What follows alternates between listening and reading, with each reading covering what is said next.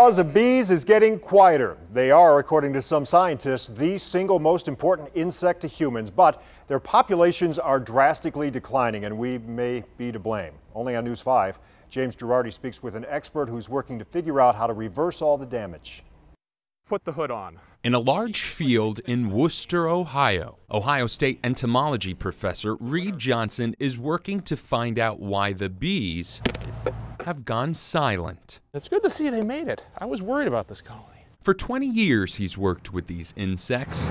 In that time, though, he's never seen them in this much despair. One major reason neonicotinoids, a type of insecticide widely available and widely used on crops and landscaping in every corner of this country. In crops where they're applied when bees are present, or in landscape applications in, in cities where they're applied when bees are present, the bees are likely to die from that exposure. Bees are critical to our food supply, pollinating an estimated one in every three bites of food we eat. A lot of the crops that are really healthy for us, um, here in Ohio, cucumbers are totally dependent on bees for pollination, pumpkins, watermelons, apples, all that good stuff that we get uh, that's healthy for you uh, depends on insect pollination. Farmers are scrambling purchasing honeybee hives to install in their crops to keep their fruits and vegetables alive. So while farmers are using colonies like these for honeybee pollination, the overall bee population continues to decline. Over the last five years, it's estimated the bee population has declined by more than 30%.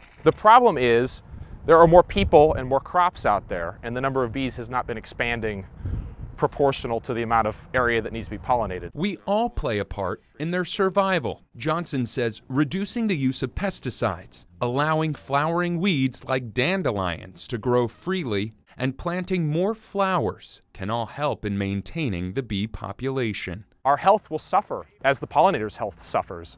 For News 5, I'm James Girardi.